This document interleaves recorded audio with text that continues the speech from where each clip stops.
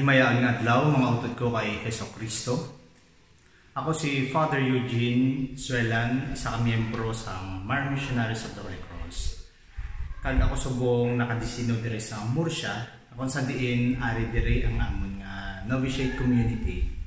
And at the same time, ang among mga ginatawag nga Talan-awon ni Maria Spirituality and Healing Center nga ongoing projects ang congregation para sa spiritual needs most especially sa aton nga mga kauturan sa recollection or retreat.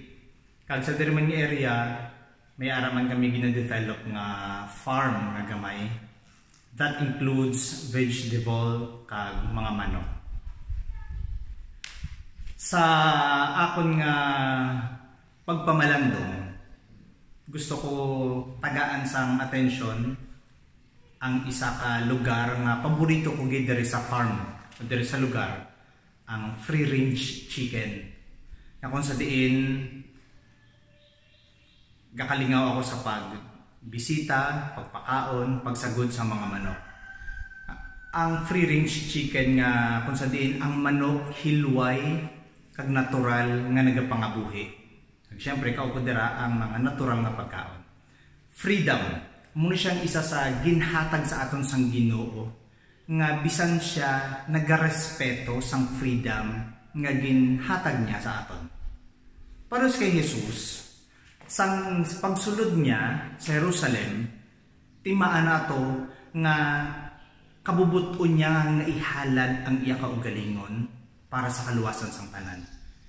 Kag sa kamot sa mga Hudyo na kung sa diin ginluyag niya man nga ipalans nga ilansang siya sa krus sang iya kabubuton. Ang paghalad ni Jesus sang iya kaugalingon kabubuton niya.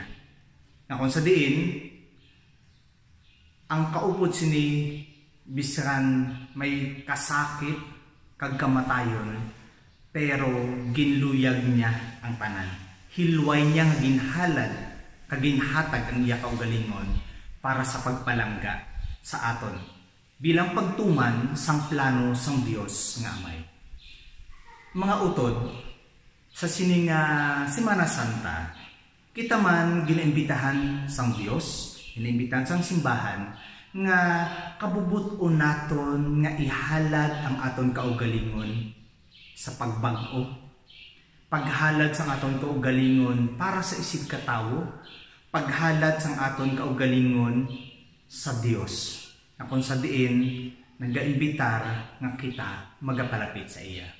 So, sa sininga Semana Santa, pani tagaan naton sang tion ang aton kaugalingon. Labi na nga kita may ara enhanced community quarantine. Dako kag damo nga oras nga pwede naton mahimo para sa Dios kag sa isig katawo pamaagi sang kabubuton nga pagpamalandong kag paghalad sang aton kaugalingon sa pagpaninguha para sa maayo. Kagang initanan luyag sang Dios nga ipabatyag sa aton nga siya nga naghatag man sang iya bugtong nga anak pamagi kay Jesus. Kita man ginimbitan nga maghatag kag maghalad sang aton kaugalingon sa amay